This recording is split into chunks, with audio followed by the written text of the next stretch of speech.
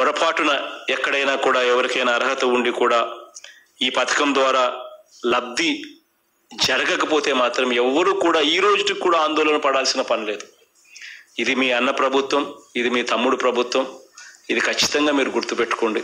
ఈ ప్రభుత్వంలో ఎవరికైనా మిస్ అయిపోతే ఎవరికైనా రాకుండా పోతే ఎలా ఇవ్వాలి అని ఆలోచన చేసే ప్రభుత్వమే తప్ప ఎలా ఎగరగొట్టాలి అని ఆలోచన చేసే ప్రభుత్వం ఇది కానే కాదు అని చెప్పి ఈ సందర్భంగా ప్రతి అన్నకు ప్రతి తమ్ముడికి నేను తెలియజేస్తా ఉన్నా.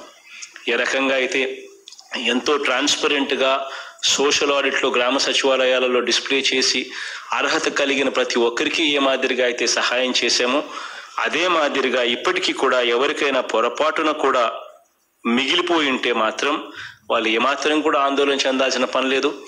ఇంకొక నెల పాటు కూడా టైం ఇస్తాను. గ్రామ సచివాలయాల్లోకి మీరు వెళ్ళండి. వెళ్ళి మీ మీ మీరు అర్హ అర్హులై ఉంటే అప్లికేషన్ పెట్టండి వాలంటీర్ల సహాయ సహకారాలు తీసుకోండి వాళ్ళందరూ కూడా మీకు తోడుగా ఉండి మీరు అర్హులై ఉంటే ఈ నెల రోజుల పాటు గడువిస్తా. పెట్టిన తర్వాత మళ్ళీ మీ అందరికీ కూడా ఈ సహాయం అందేట్టుగా కూడా ఖచ్చితంగా చేస్తానని చెప్పి కూడా ఈ సందర్భంగా